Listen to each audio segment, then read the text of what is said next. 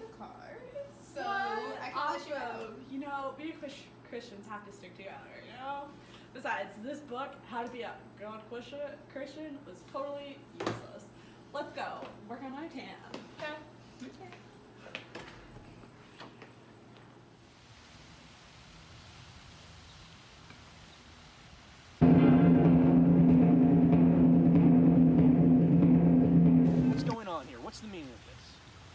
Jailer? Why are you free of your cell?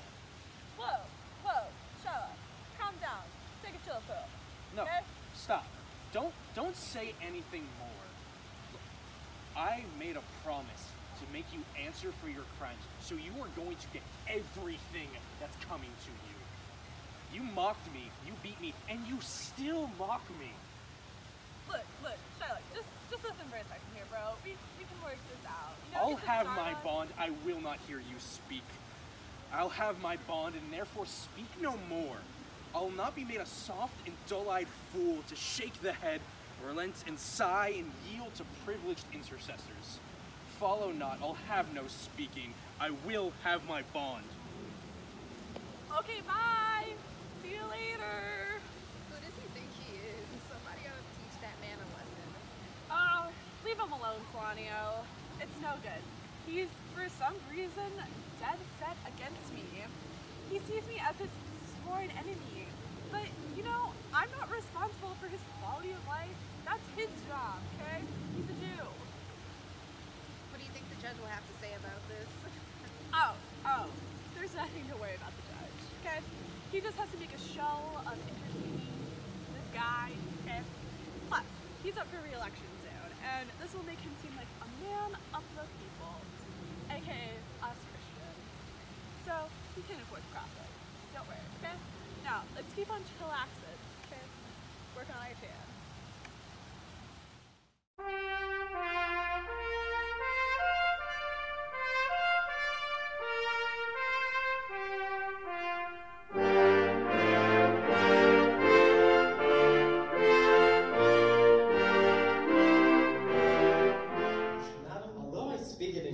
It presence, you have a noble and true conceit of godlike amity, which appears most strongly in bearing thus the absence of your lord. But if you knew to whom you show this honor, how true a gentleman you send relief, how dear a lover of my lord your husband, I would know you would be prouder of the work than customary merry bounty can enforce you. I did repent for doing good, nor shall now, for in comparison that do converse and waste time together, whose souls do bear an equal yoke of love. There must be a like proportion of lineaments and manners and of spirit, which makes me think of this Antonio being the bosom lover of my lord, must have needs like my lord. If it be so, how little is the cost that I have bestowed in purchasing some semblance of my soul from out the state of hellish cruelty. This comes too near from the praising of myself, therefore no more of it. Here are other things. Lorenzo, I commit into your hands the husbandry and manage of my house until my lord's return. For mine own part, I have unto forth a heaven breathed a secret vow to live in prayer and contemplation, only by Nerissa here, and until her husband and my lord's return. There's monastery two miles off, and that's where we will abide. I do desire you not to deny this imposition which lays my love and some necessity now lays upon you. Madam, with all my heart, I shall obey you in all fair commands. My people do already know my mind and will acknowledge you and Jessica in place of Lord Bassanio and myself. So fare you well until we shall meet again. Fair thoughts and happy hours attend on you. I wish your ladyship all hearts content. I thank you for your wish and am well pleased to wish it back on you. Fare you well, Jessica.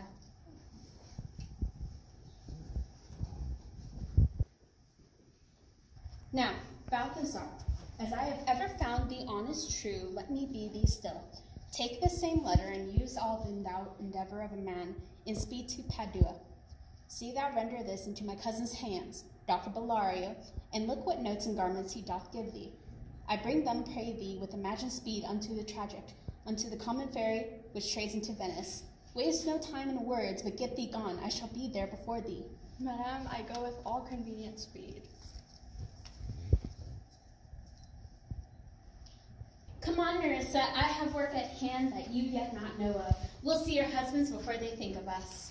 Shall they see us? They shall, Marissa, but in such a habit that they think we are accomplished with what we lack.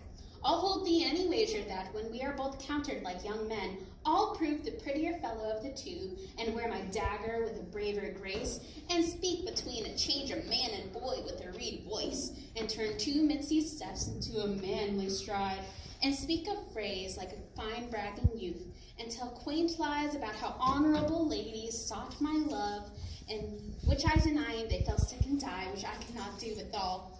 Then I'll repent and wish for all that I had not killed them. For twenty of these puny lies I shall tell, and that men shall swear that I have discontinued school about the twelfth month. I have within my mind a thousand raw tricks of these bragging tracks, which I will practice. Why shall we turn to men? Fie, what a question's that, if thou wert a lewd interpreter? But come, I'll tell thee all which whole device which I am in my coach was staged for us at the park gate.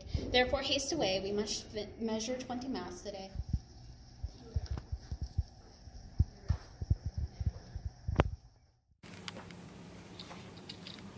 Yes, truly.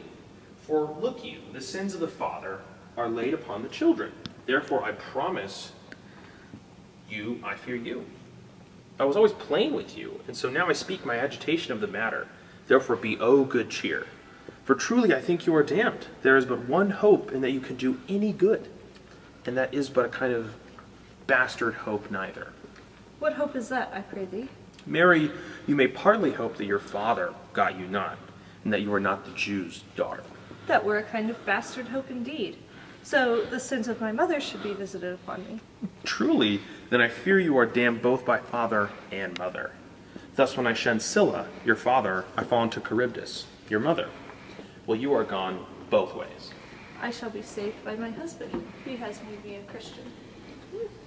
Truly, the more to blame he. We were Christians enough before, even as many as could well live, one by another. The, this making of Christians will raise the price of hogs. If we all grow to be pork eaters, we shall not shortly have a rasher on coals for money. I'll tell my husband, Lancelot, what you say. Here he comes. I shall grow jealous of you shortly, Lancelot, if you thus get my wife into corners. Nay, you need not fear us, Lorenzo. Lancelot and I are out. He tells me flatly there's no mercy for me in heaven because I am a Jew's daughter, and he says you are no good member of the Commonwealth, for in converting Jews to Christians, you raise the price of pork. I shall answer that better to the Commonwealth than you can, the getting up of the ne- Negro's belly. Is it, it is, the Moors with child by you, Lancelot. It is much that the Moor should be more than reason, if she be less than an honest woman. She is indeed more than I took her for. How every fool can play upon the word. I think the best grace of wit will shortly turn into silence, and discourse grow commendable in none only but parrots. Go in, sirrah, bid them prepare for dinner. That is done, sir. They have all stomachs. Goodly Lord, what a wit snapper are you! Then bid them prepare dinner. That is done, sir. Two. Only cover is the word. Will you cover then, sir? Not so, sir, neither. I know my duty. Yet more quarreling with occasion wilt thou show the whole wealth of thy wit in an instant. I pray thee understand a plain man in his plain meaning.